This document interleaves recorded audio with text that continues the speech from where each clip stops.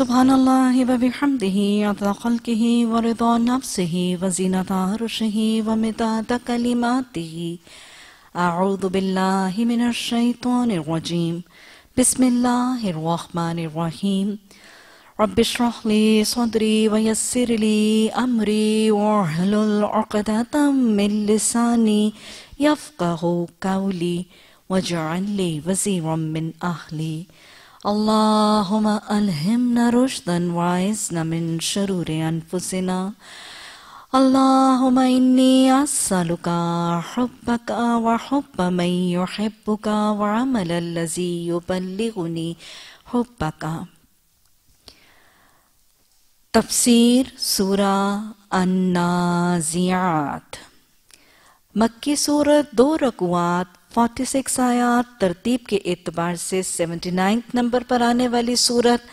वजह तस्मिया, बिल्कुल पहली ही लफ्ज, पहली ही आयत में वनाजियात अल्लाह ने कसम खाई है। हज़रत अब्दुल्ला बिन अब्बास रज़ी अल्लाह की रवायत से ये पता चलता है कि ये सूरत सूरा नबा यतसालून के बाद साथ ही फौरी तौर पर नाजिल हुई। गोया एक सीक्वेंस में अल्लाह सुबहाना ताला ने ये सूरतों का सिलसिला जो है वो नाजिल फरमाया। अगर मौजू देखें तो मौजू पिछली सूरतों से मिलता जुलता, फ़िक्र आखरत, क़्यामत का इसबात। और पूछने वालों ने यह सवाल पूछा कि क़्यामत कब आएगी? तो उस पर जवाब के क़्यामत के कब आने की फ़िक्र ना करो। क़यामत के कब आने की फिक्र और उसकी कुरेद और टो में ना रहो क्यामत आएगी तो होगा क्या इसकी फिक्र और इसकी तैयारी करो और यही अकलो दानिश का तकाजा भी है बिस्मिल्लाहिर्रहमानिर्रहीम वन्नाज़िआति गरकन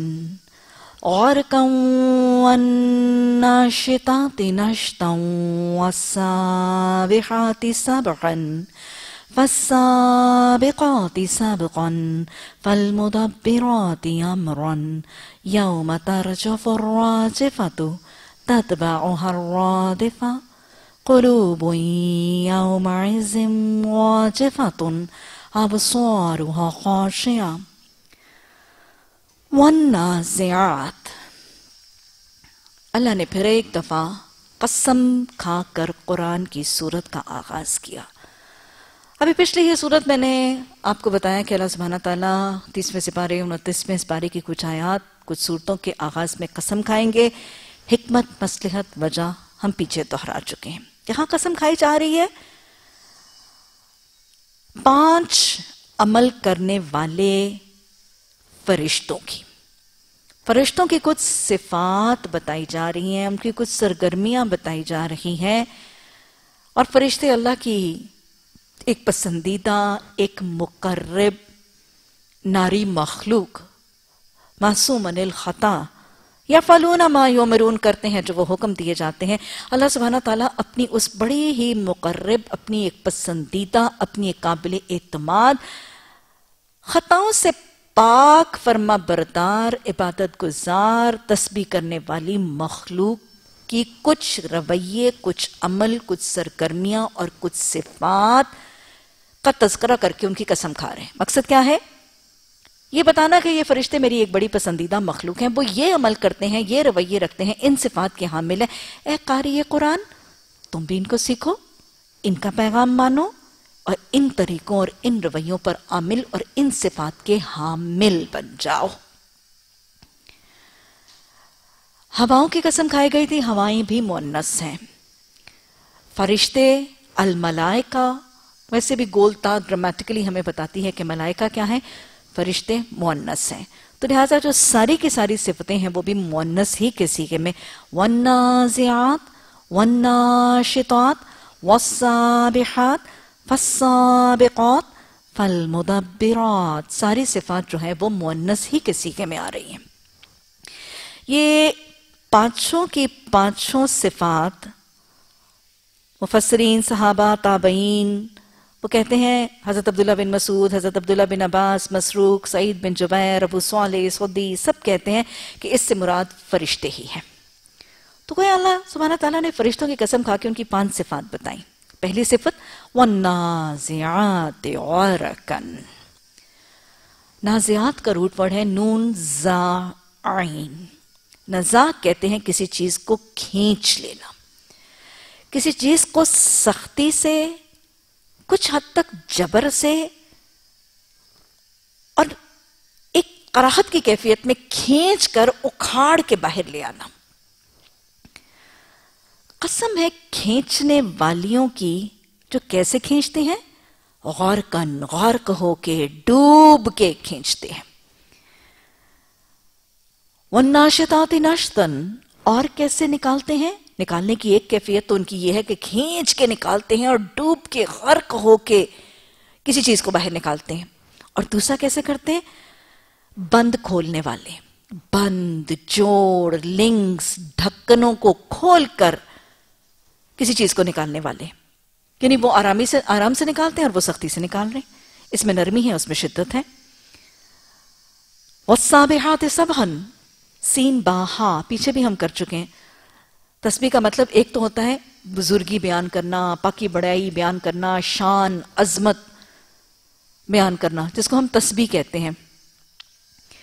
और सबहा का मतलब जल्दी जल्दी से अतात करना फर्मा बरदारी में, अतात में, हुक्म मानने में तेज़ी करना, सुबक रफ्तारी से अतात करना, तेज़ी तेज़ी से फर्मा बरदारी करना।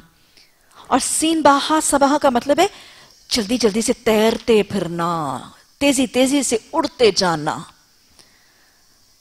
तो कसम अल्लाह ने खाई, उन फरिश्तों की जो तेज़ी से उड़ते फिरते हैं, चलते फिरते हैं, तैरते फिरते हैं, तेज़ी से दौड़ धूप करके अल्लाह की अतात करते हैं और साथ साथ अल्लाह की पाकि बड़ाई शान अजमत बुजुर्गी बयान करते हैं। फसा बेकौती सबकन, सीन बाकाफ आगे बढ़ जाना। सबकत ले जाते हैं। बढ़ बढ़ के, दौड़ दौड़ के, आगे चढ़ चढ़ के सबकत ले जाते हैं और मामलात की तदवीर करते हैं। वन ना से आते गौरकन, फरिश्तों की कौन सी सिफत है? हमें मुफसरीन बताते हैं कि इससे मुराद मलकुल मौत है।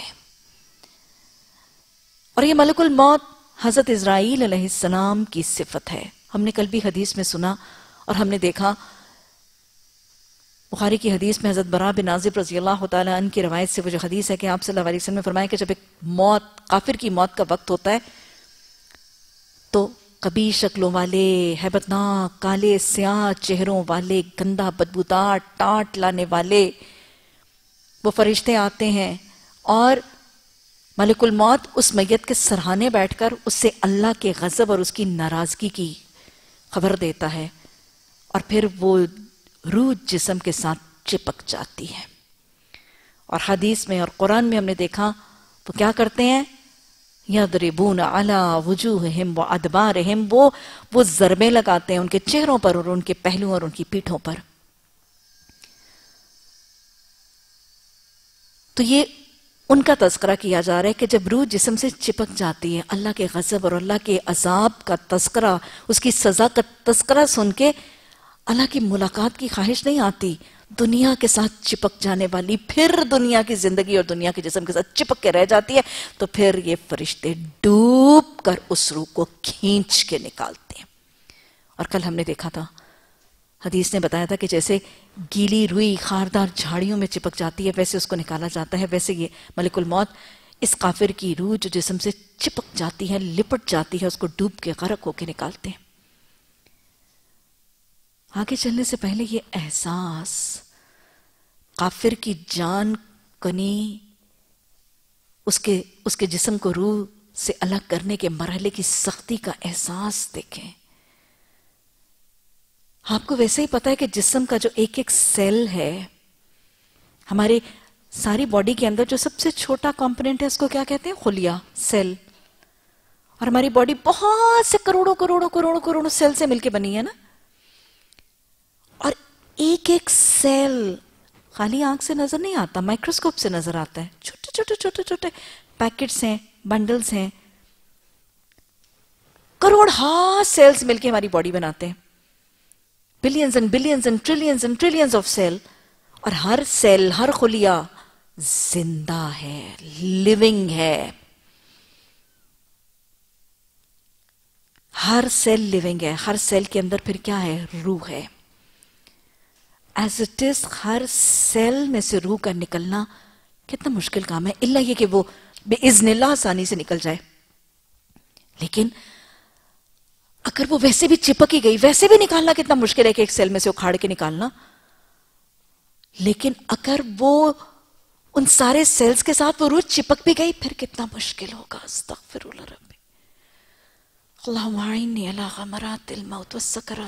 वो रूह एक एक जिसम के खुलिए के साथ चिपक गई। तो यही कहा जा रहा है कि फिर वो फरिश्ते उसको डूब के, जिसम के अंदर डूब के उसको खलियों से खींच के निकालें।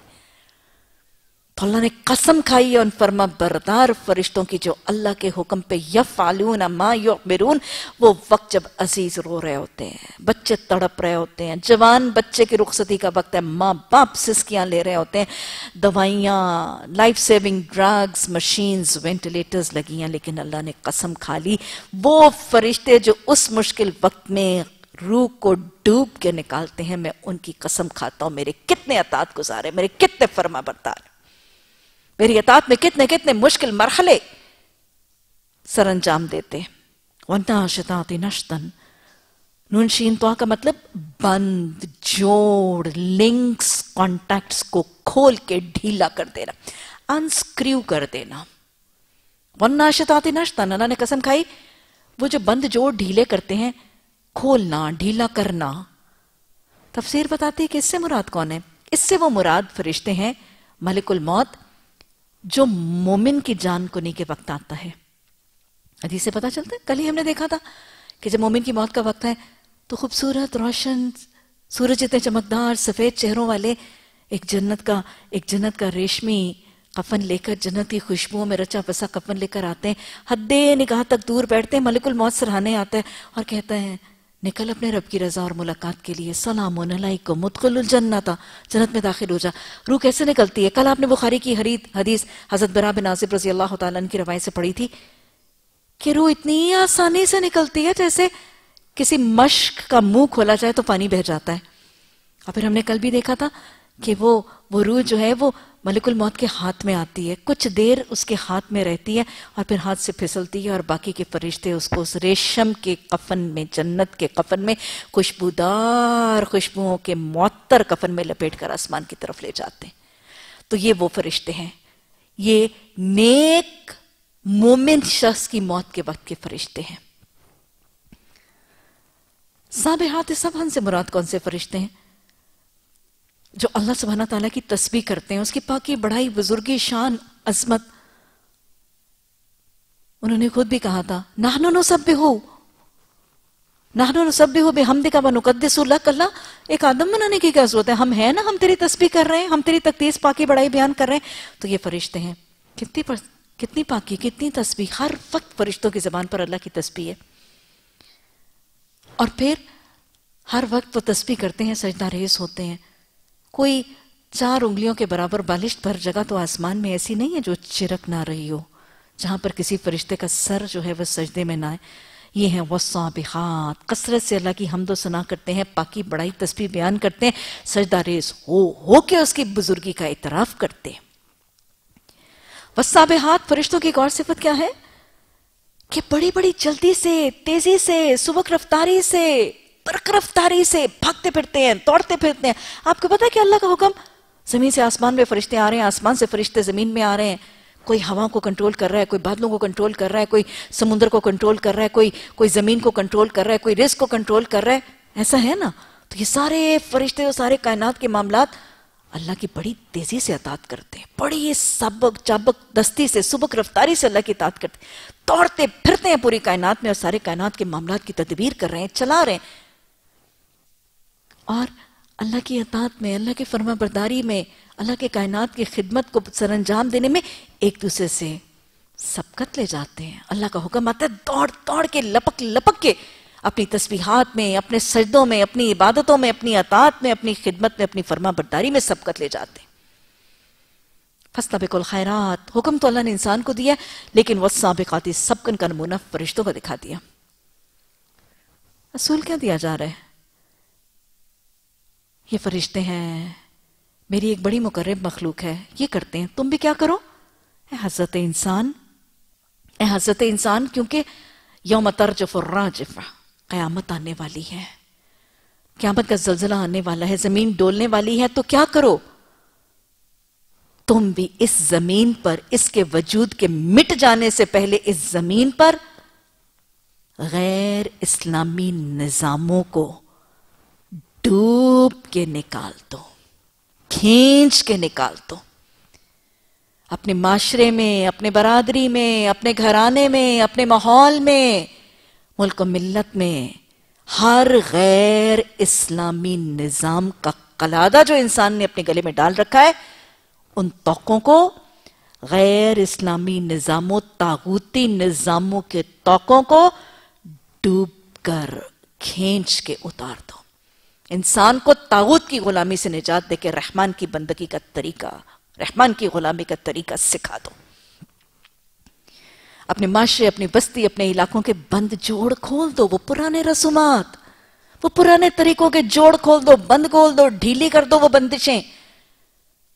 शिरकिया रसूमात बिद्दतें फिस्क, फजूर, नाफरमानियाँ, सरकशियाँ ये सारी की सारी बंदिशों को खोल के ढीला करके, ये बिदतों को, ये शिरक को उखाड़ के डूब के निकाल दो।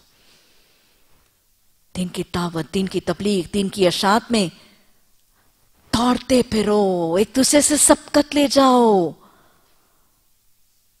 एक दूसरे से बढ़ चढ़ के करो, तेज़ी से करो सुबह रफ्तारी से करो, दौड़ते फिरो, तैरते फिरो, उड़ते फिरो। अभी हमें अल्लाह ने बादल बनाया था। कहा था बदलियाँ बनो? कहा था हवाएँ बनो? अच्छा बदलियाँ बन गई आप? हवाएँ बन गई? उड़ती फिरो। बराने रहमत बरसाती फिरो। हवाएँ बन जाओ।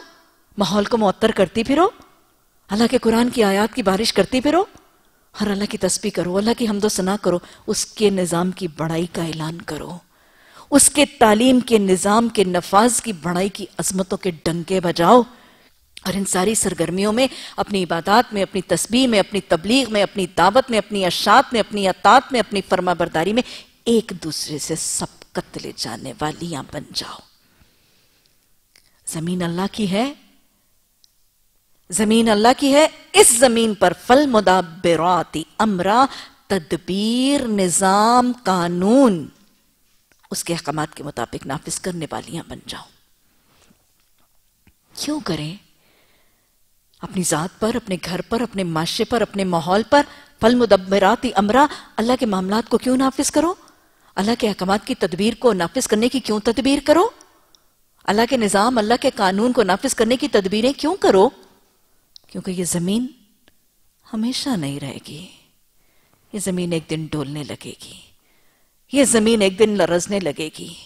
ऐसा जुलजिला लरज जिलजा लहा एक जलजा आएगा। एक एक आलमगीर जलजला आएगा और ये ज़मीन डोलने लगेगी। तो उस ज़मीन के डोलने से पहले, उस आलमगीर जलजले से पहले, उस बड़ी आफत से पहले, उस धमाके से पहले, इस ज़मीन पर, अल्लाह की ज़मीन पर, अल्लाह के निज़ाम की हकमियत को कायम करने के लिए ना जियात गरका करो, ना तिशाती नश्ता करो वस्सा बेहाती सबहा करो फलसा बेकाती सबका करो फल मुदब्बिराती अमरा करो। मुझे और आपको पैगाम दिया जा रहा है। अपने घरों की ज़मीन पर अल्लाह का निज़ाम नाफिज करो। अपने दिलों की ज़मीन पर अल्लाह का निज़ाम नाफिज करो। अपनी कौम, उम्मत के अंदर इस्लाम की तालीमत को आम कर दो। ये एक ही जलजला नहीं होगा, एक जलजला आएगा, फिर उसके पीछे एक और झटका पड़ेगा। सूर भी एक नहीं, झटका भी एक नहीं, जलजला भी एक नहीं, धमाका भी एक नहीं, चीख भी एक नहीं, हंगामा भी एक नहीं। अल्लाह खबर दे रहा है, एक झटका आएगा, ज़ोर से हिला मारेगा, झटका, एक ही झटका, एक ही जलजला आता है, क्या हाल होता है?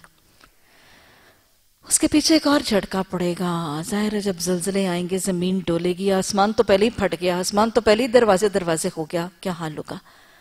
कुछ दिल कुछ दिल होंगे जो उस खौफ से काँप रहे होंगे। अल्लाह उस दिन के हौल से बचा लेना। अल्लाह उस दिन के हॉल से बचा लेना। अल्लाह उस दिन के हॉल की फ़िक्र अता फरमा दे। अल्लाह उससे बचने की तैयारी की तोफीक अता फरमा दे। अल्लाह उस दिन के हॉल का तकवा अता फरमा दे। निकाहें उस दिन सहमी हुई होंगी। कौन सा दिन है? काफिरों ने भी कहना है, हाजा यौमुन उसर। कौन सा दिन है? नबी भी नफसी नफसी पुकार रहे होंगे, कुछ निगाहें कुछ दिल काँप रहे होंगे। आज बेखौफ है। हदीस क्या कहती है? जो दुनिया में खौफसदा होकर ज़िंदगी गुजारेगा, अल्लाह क्यामत के दिनों से बेखौफ कर देगा। कुरान भी कहता है ना मोला खौफ मोला और जो दुनिया में बेखौफ होकर ज़िंदगी गुजारेगा, अल्लाह उसको क्यामत के दिन खौफ सदा करेगा। यही है वो दिन। दुनिया में बेखौफ होकर ज़िंदगी गुजारते थे। मादर, पिदर, आज़ाद, शुत्र, बेमहार कानून इलाही नेकी गुना हलाल, हराम, जायज़, नाजायज के तस्वुरात से आज़ाद, बेखौफ होके बेखौफ होके खाते थे, बेखौफ होके पहनते थे, बेखौफ होके सजते थे, बेखौफ होके ओढ़ते थे। उड़ते क्या थे? बेखौफ होके उड़ते ही नहीं थे। खुशियों में बेखौफ थे, गमियों में बेखौफ थे, दुनिया में बेखौफ होके ज़िंदगी गुजारते थे। अब इस दिन अल्लाह अल्लाह खौफ सदा करेगा। दिल कांपेंगे, निगाहें झुकेंगी। ये खुद नहीं झुकते थे तकबर करते थे, उस दिन निगाहें झुक जाएगी। उस दिन की नदामत का फ़ायदा होगा? उस दिन की नदामत का फ़ायदा? नहीं, नदामत का फ़ायदा तो आज था। ये लोग कहते हैं, क्या वाकई हम पलटा कर वापस लाए जाएँगे? क्या? जब हम बोखली, खोखली बुसीदा हड्डियाँ बन जाएँगे? एक तो इंसान को अपनी हड्डियों पर बड़ा जोम है ना। क्योंकि गोश्त को तो गलते हुए देख लेता है। हड्डियाँ तो कब्र में निकली हुई नज़र आती हैं इंसानों को। खबरें खोदी जाती हड्डियाँ मौजूद होती हैं। लो हड्डियाँ भी खत्म हो जाएँगी और हड्डियों से भी इंसान बुखली हो जाएँगी तब। अच्छा कहने लगे ये वापसी तो बड़े घाटे की होगी। अगर वाकई इंसान को ज़िंदा किया गया तो, तो घाटे की होगी। हालाँकि बस इतना काम है कि एक ज़ोर की डांट पड़ेगी। या माए डांट डांट के थक जाती हैं। दीन की दावत देने वाले कुरान की डांटे पहुँचा पहुँचा के थक जाते हैं। लोग कहते हैं, एक तो वो डराती बहुत है ना। हमने नहीं जाना उनकी क्लास में डराती बहुत है। उस दिन एक ही डांट होगी। एक ही डांट होगी यका या कहा निकलेंगे? खुले मैदान में। हशर खुले मैदान में क्यों होगा? अल्लाह कुरान में एक जगह नहीं, बारहा आता है। पीछे आता बिस्साहिरा चटियल खुला मैदान। अल्लाह कुरान में कहता है, ला तराफी हाई वजाऊ वाला, ला तराफी हा अमतों वाला आई वजह तो इसमें बल, सिलवट कोई नहीं देखेगा। हशर के दिन मैदान मैदान हशर में बल, सिलवट, सीधी हमवार क्यों होगी? वजह है, एक तो हमें कुरान और हदीस बताते हैं कि क्यामत के दिन, क्यामत के दिन की ज़मीन सीधी होगी, हमवार होगी। इसका मकसद ये कि जब कोई मखलूक और बहुत से लोग सीधी जगह पर खड़े होते हैं तो हद्दे निगाह दूर दूर तक जाती है। और फिर बल, सिलवट, ऊंच, नीच, इसमें क्या इम्कान होता है? कोई एक घाटी के पीछे छुप जाएगा, कोई किसी निशेब में, किसी गड़े में बच जाएगा, कोई किसी पहाड़ के पीछे गरोज छुप जाएगा। ना, कोई पहाड़ नहीं होगा। किसी पहाड़ी, किसी चोटी, किसी घाटी के पीछे छुप के बच नहीं सकोगे। सीधा मैदान होगा, सब सामने होंगे। और फिर हमें कुरान ये भी बताता है, हदीस बताती है कि मैदान हशर मैदे की सफ़ेद रोटी की तरह होगा। कि जिसके ऊपर जीरे का अगर एक दाना स्या जीरे का एक दाना भी हो ना तो साफ़ नज़र आता है। कभी नमक पारे बनाए मैं उससे बना रही थी तो मैं नमक पारों के लिए रोटी बेल रही थी, उसके अंदर जीरा होता है। तो मैं उसको देख रही थी एंड देन आई रियलाइज़ कि वाकई कैसी ज़बरदस्त मिसाल है। वो काले जीरे के दाने ऐसे उस मैदे की रोटी के ऊपर नज़र आते हैं। जो काले गुनागार धब्बों वाले लोग हैं ना, वो भी ऐसे हाईलाइट होंगे। सफ़ेद रोटी के ऊपर स्पॉटलेस रोटी के ऊपर सब लोग क्लियरली हाईलाइट होंगे। बैकग्राउंड जब वाइट होती है ना तो उसके ऊपर आने वाले सब नज़र आते हैं। क्या, क्यों मकसद है? ये हाईलाइट करना चाहते हैं अल्लाह। कोई नहीं छुपेगा, कोई नहीं बचेगा, कोई निगाहों से उज्जवल नहीं होगा फिर निगाह अल्लाह की निगाह। सब एक खुले मैदान में होंगे। अच्छा मुस्तकबिल की रुदात अल्लाह की सुन्नत जारी है, माजी का किस्सा। क्या तुम्हें मूसा सलाम की खबर पहुँची है? जब उसके रब ने उसे वादी तुवा मुकदस में पुकारा था। फिर उनके पास जा, पीछे हम पढ़ चुके हैं, सूरह तहा में, सूरह शहरा में, सूरह नमल में, सूरह कसस में। वाक्य आया हज़रत मूसा कैसे अपने अहलो खाना को लेके वापस आ रहे थे? और फिर अल्लाह सुबहाना ताला ने वो एक अंगारा सा नज़र आया था, वो रोशनी सी नज़र आई थी तो अल्लाह सुबहाना ताला ने फरमाया था कि, मूसा, तू वादी तुवा मुकद्दस में अपनी जूतियाँ उतार दे। और मूसा, मैं हूँ मैं हूँ अल्लाह तेरा रब। और मूसा, तू मुझे मान, मेरी वादानियत को मान, और मेरे लिए नमाज़ पढ़। है ना? बुनियादी सी बातें अल्लाह ने बताई थी। और उन लोगों की पैरवी ना करना जो तुझे हक से मुनहरिफ करें। और फिर अल्लाह ने ये बेसिक कॉन्सेप्ट ऑफ़ रिलीजन दे के लॉन्च करके कहा था, जा, अपनी ज़िम्मेदारी का एहसास हो रहा है। अभी तक मुबाहिसे जारी हैं, उनतीसवां से पार आ गया हम कैसे कराएँगे दौरे कुरान? हज़रत मूसा सलाम, तोहीद, नमाज़, अमर बिल मारूफ, नहीं अनिल मुनकर, वाला फिरौन के सामने जा। आपने तो अपनों को जाके बस्ती में सुनानी है। जा फिर के पास जा, वो सरकश हो गया। दावत किसको देनी है? सरकशों को। उससे क्या है कि तू इसलिए तैयार है कि तू पाकिजगी इख्तियार करे? जा फिरौन को क्या तू सरेंडर करना चाहता है? अपनी गलत बातें छोड़ना चाहता है? पाकिजगी इख्तियार करना चाहता है? और मैं तेरे तरफ़, तेरे रब की तरफ़ तेरी रहनुमाई करूँ? तो उसके खौफ तो उसका खौफ तेरे अंदर पैदा हो। दावत के तीन असूल और दावत के तीन एजेंडे। लोगों को तजकिया की तरफ़ माइल करना। लोगों को तस्किया की तरफ़ माइल करना। अच्छे बनना चाहते हो? नेक होना चाहते हो? You want to be good you want to be you want to act good नेकिया करना चाहते हो? हम्म तस्किया की तरफ़ माइल करना।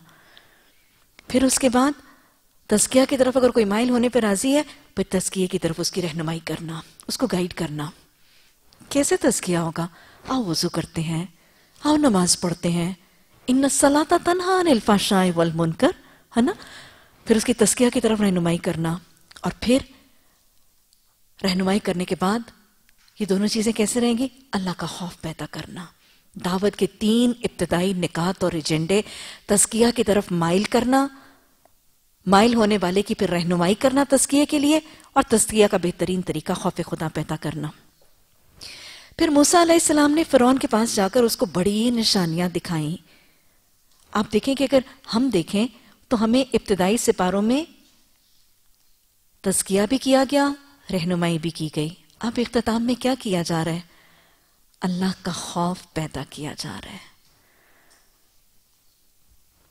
फिर मूसा सलाम ने फिरौन के पास जाकर उसको बड़ी बड़ी निशानियाँ दिखाई। मगर उसने झुटला दिया, उसने नया माना, फिर चालबाजियाँ करने के लिए पलटा। लोगों को जमा करके उसने पुकारा, मैं तुम्हारा बड़ा रब हूँ, मेरा निज़ाम है।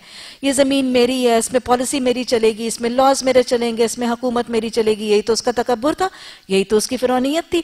आखिरकार अल्लाह ने उसे आखरत और दुनिया के अजाब में पकड़ लिया। दर हकीकत इसमें बड़ी इबरत है, हर उस शख्स के लिए जो डरे।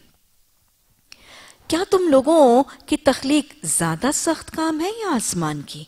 देखिए अल्लाह सुबहाना ताला वो आखिरत के दलाइल कितने डिफरेंट तरीकों से बता रहे हैं। अल्लाह ने मुस्तकबिल की रुदात बताई कि देखो, एक ही झिड़की होगी हाँ पहले ज़मीन डोलेगी, लोग खौफजदा होंगे, एक झिड़की होगी, सब आ जाएँगे, सब खुले मैदान में होंगे। अच्छा अभी नहीं लगता। तुम्हें मुस्तकबिल का नज़ारा शायद अभी इतना खौफसदा नहीं करा? तुम्हारा ईमान इतना मज़बूत नहीं हुआ। अच्छा जो नहीं मानता था। देखो फिर फिर का क्या हाल हुआ? हम्म, अभी भी लगता है समझ नहीं आई। अच्छा बताओ। वो वो रब तुम्हें लगता है कि अल्लाह तुम्हें दोबारा बना नहीं सकेगा? लो वो जिसने आसमान बना लिया वो तुम्हें मरने के बाद दोबारा बना नहीं सकता। इतना कॉम्प्लिकेटेड इतना बड़ा इतना एक्सटेंसिव इतना क्लासल इतना इंट्रिकेट आसमान जिसमें सूरज है, चाँद है, सितारे हैं गैलेक्सीज है कहकशाएँ हैं एक आती है, एक जाती है होते भी है, दिन को नज़र नहीं आते, सूरज आ जाता है, सितारे गायब हो जाते हैं, सूरज चला जाता है, चाँद, सितारे नज़र आते हैं, कभी दिन, कभी रात, कभी अंधेरा, कभी रोशनी, ऐसा आसमान जो बर्पा करता है, लो, कबर में से तुम्हें नहीं उठा सकेगा। कैसे रैशनैलिटी से बात बताई जा रही है? अल्लाह ने इसको बनाया है, उसकी छत, रफा कहा फसवाहा ये आसमान तुम्हें लग रहा है सिर्फ़ बनाया नहीं, ये बना के इसने ऊँचा किया है गुंबद की शक्ल में लाया है। कभी एक शामियाना फिट होते हुए देखे? या कभी छत बनते हुए देखा? है अल्लाह अकबर। हर कंस्ट्रक्शन वाला शख्स इस बात को जानता है, अपना घर भी जिस दिन बनता है डिगे देते हैं एक्स्ट्रा वर्क फोर्स आती है मशीनरी आ जाती है है ना? छोटी छोटी क्रेनें आ जाती हैं, चार पूरे दो हफ़्ते पहले छत के पड़ने की तैयारी होती है। सरिया बांधा जा रहा है, पाइपें डल रही हैं, तारें डल रही हैं। फिर वर्कफोर्स और वो वर्कफोर्स ज़्यादा पैसे लेती है। छत डालने वाली टीम ही अलग होती है। सुबह से लेकर शाम तक ठंडे पानी चलते हैं, देगों के खाने चलते हैं। छत डल रही है। एक किनाल के घर की छत डलती है। मालिक मकान सारा दिन सर पे रहता है। छत डल रही है। ये आजकल मार्कीज, ये शादियाँ होती हैं, शामियाने शामियाना सारे का सारा अरेंज करना और बात और शामियाने को खड़ा करना उन बांसों की टेक के साथ और बात। तो ये अल्लाह सुबहाना तला फरमा रहे तुम्हारा ख्याल है मैंने छत ऐसे बना दी? नहीं, ये तो मैंने छत बनाई, अकेले मैंने उसको ऊँचा किया, अकेले मैंने इसमें कुमकुमे सजाए, इसके निज़ाम बदले और मैं रोज इसकी हैत को बदलता हूँ, मैं अकेला करता हूँ। और फिर, ये छत मैंने सिर्फ़ बनाई नहीं, मैंने बहुत ऊँची की है। कितना डिस्टेंस है ज़मीन और आसमान में। और फिर कितनी लेयर्स हैं। समकहा। समकहा का मतलब है कि मैंने उस छत को मैंने बुलंद किया है और उस छत को मैंने हमवार किया और उस छत को मैंने मोटा, दुबीज और थिक किया है।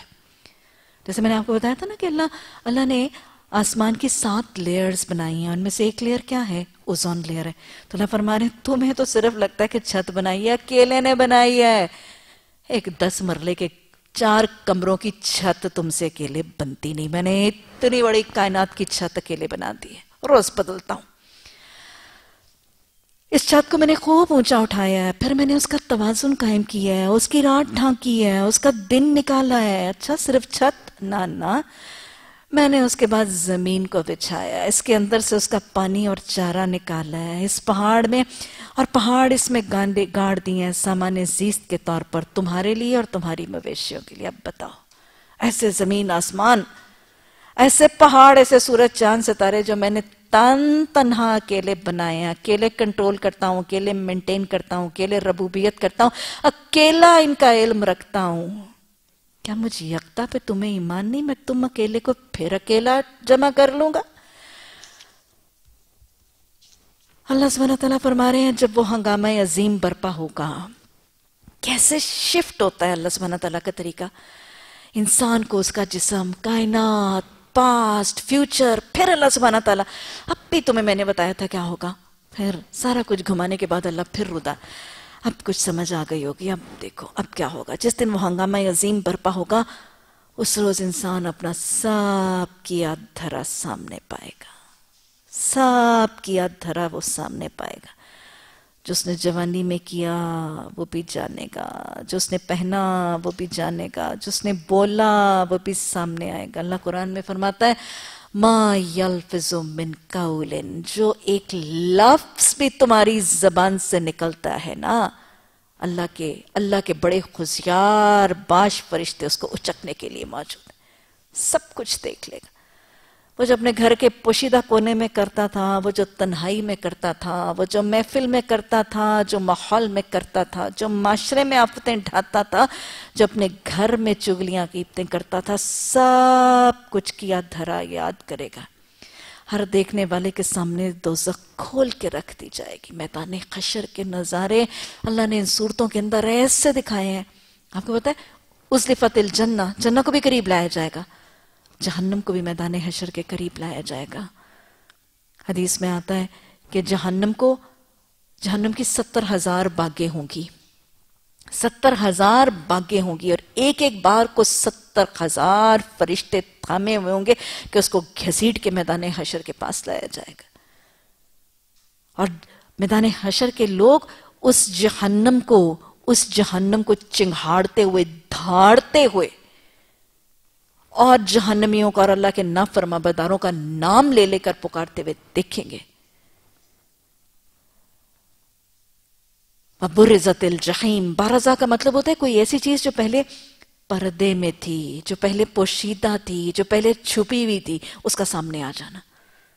अल्लाह ने तो बहुत दिखाई है लेकिन अभी तो जहन्नम पर्दे में है ना? तो, तो हम कहते हैं मेरी ज़िंदगी जहन्नम बन गई। ये क्या जहन्नम बनी? जहन्नम तो असल वो जहन्नम है। अभी जहन्नम पर्दे में है, आँखों से नज़र नहीं आती, हकीकत नज़र नहीं आती, आया नहीं है, कुछ नज़र नहीं आ रहा, किससे कहानियाँ पढ़ रहे हैं? लेकिन उस दिन वो सामने ला दी जाएगी। तो जिसने सरकशी की, किसकी सरकशी की? असल मुता कौन है? अल्लाह। जिसने अल्लाह की नाफरमानी की, और क्या किया? दुनिया की ज़िंदगी को तरजीह दी तो उसका ठिकाना है। सिर्फ़ ईमान नहीं, तरजीहात भी निजात का ज़रिया है। तरजीहात भी बदलनी है। सिर्फ़ ईमान सिर्फ़ ईमान निजात का ज़रिया नहीं है। जहन्नम में जहन्नम में डाले जाना तरजीहात की बुनियाद पर भी होगा। साहिब ईमान भी अगर अपनी तरजीह दुरुस्त नहीं करेगा, अपनी प्रायोरिटीज और अपनी प्रेफरेंसेस को दुरुस्त नहीं करेगा तो उसके लिए भी जहन्नम है। तरजीहात को दुरुस्त करना ज़रूरी है। अल्लाह ने फरमाया, बल तो सिरून हयात दुनिया वाला आखिर तो खैर वाबका तुम तो दुनिया को तरजीह देते हो। आज तरजीहात क्या है? आज इंसान ने अल्लाह जहन्नुम में बता रहे कि जहन्नुम में क्यों डाला जाएगा? वो दुनिया की ज़िंदगी को तरजीह देगा। तरजीह दे रहे हैं कि नहीं? दुनिया के घरों को तरजीह देते हैं।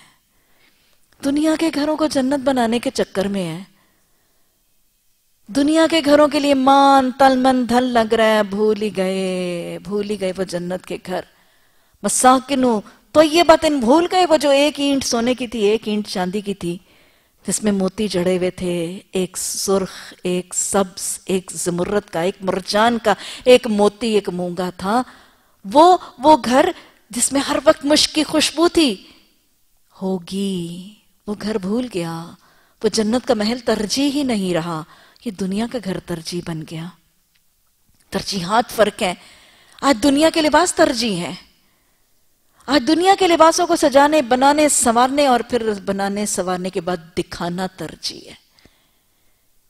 मैं फिर दोहरा रही हूँ, आज दुनिया के लिबासों को बनाना बनाना, सजाना और बना सजा के फिर पहन के दिखाना तरजीह है। ये भूल ही गया कि कुछ लोग ऐसे हैं कि जहन्नम के लिबास उनके लिए काटे जा चुके हैं।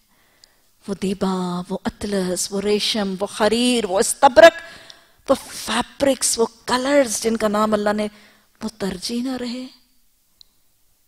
दुनिया के जेवरात, नाकिस, रद्दी, नकारा, बेहतरीन बेहतरीन गोल्डस्मिथ भी जिसमें खोट डाल देता है। बेहतरीन से बेहतरीन सुनार जब वापस देने लगता है तो खपट निकाल लेता है। वो नाकिस, वो रद्दी जो वैसे भी रुख होते तो मेरी तजोरी में रह जाएगा, मेरे ड्रॉर्स में रह जाएगा। वो तरजीह बन गए। वो जेवर भूल ही गए। जो वज़ू का पानी जहाँ जहाँ तक पहुँचना था, वहाँ तक पहनाए जाएँगे। वो बेड़ियाँ भूल गई, वो आग के तोक भूल गए, वो आग की हथकेड़ियाँ भूल गई, तरजीहात बदल गई। दुनिया के फल तरजीह बन गए वो मटकों जितने बड़े बेर, वो घड़ों जितनी बड़ी खजूरें जो मक्खन और मलाई से नरम और शहद से ज़्यादा मीठी है, वो भूल गई। वो जिसने दुनिया की ज़िंदगी को तरजीह दी, यहाँ की महफिलों को, यहाँ के खाने को, यहाँ के पीने को, यहाँ के लिबास को, यहाँ के घरों को तरजीह दी तो उसका ठिकाना होगा। मन खौफ मकाम रबी और वह जो अल्लाह के हजूर खड़े होने से डर गया। नमाज़ में खड़ी होती हैं, अपने ऊपर ये एहसास तारी किया करें। हर नमाज़ पे खड़ी होती हैं तो अपने ऊपर ये एहसास तारी किया करें, आज मैं अल्लाह के हजूर खड़ी हूँ, आज तो अपने घर में हूँ, आज तो इस दुनिया में हूँ, लेकिन इसी तरह मैं अपने इन दो पाओ में, इसी तरह मैं अपने रब के हजूर भी एक दिन हाजिर की जाने वाली हूँ। इसी तरह तनहा मैं अपने रब के हजूर हाजिर होंगी। आज तो उससे मुलाकात कर रही हूँ। आज तो बोल रही हूँ, हक बोल रही हूँ। याद रखें, उस दिन भी मुझे हक बोलने की तौफीक दे दे अल्लाह। मुझे अल्लाह के हजूर खड़े होने से डर गया। अल्लाह के हजूर खड़े होने से डर गया कि मैं जब खड़ी होंगी तो पहले सवाल का जवाब कैसे दूँगी? क्या है जवाब? नमाज़।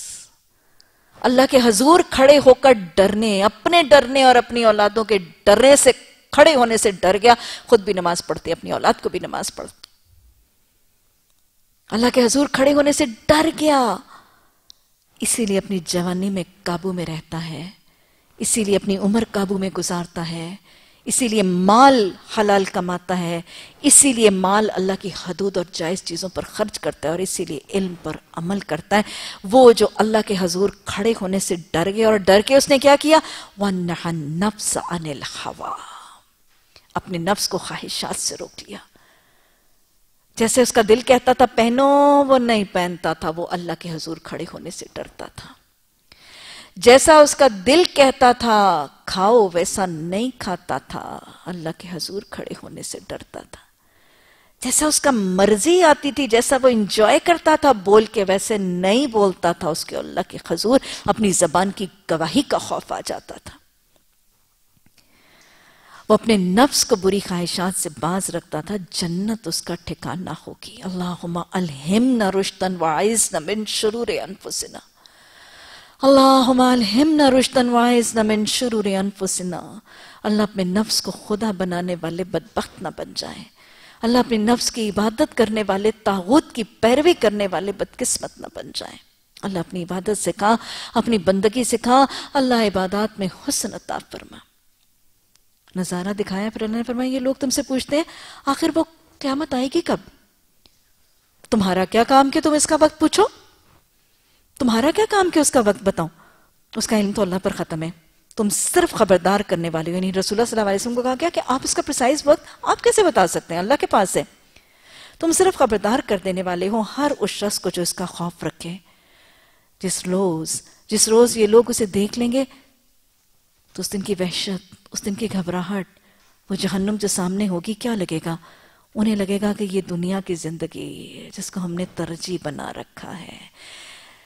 जिसके घरों को हम ऐसे सजाते हैं कि सामान सौ बरस का पल की खबर नहीं। जिसके लिबास हम ऐसे पहनते हैं, जिसके जेवरात हम ऐसे जमा करते हैं, जिसमें माल हम ऐसे समेटते हैं।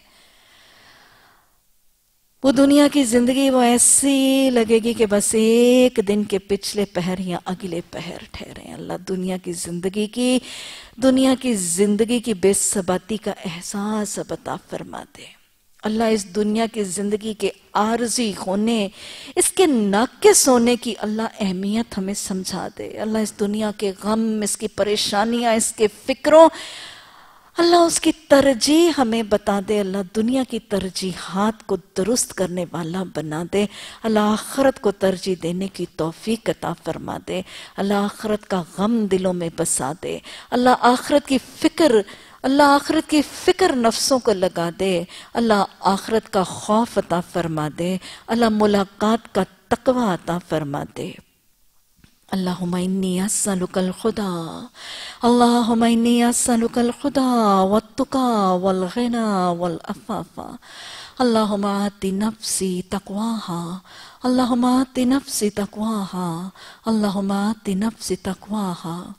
अल्लाहुम्मा रहमतिका अर्जू फला तकिलनी इला नफ्सी मिन तरफत आइनिन व अस्लिह ली शअनी कुल्लहु ला इलाहा इल्ला अंता सुबहानक अल्लाहुम्मा व बिहम्दिका नशहदु अन ला इलाहा इल्ला अंता नस्तगफिरुका व नतूबु अलैक सुबहान रब्बिका रब्बिल इज्जति अम्मा यसिफून व सलामुन अलल मुरसलीन वल्हम्दुलिल्लाहि रब्बिल आलमीन आमीन सुम्मा आमीन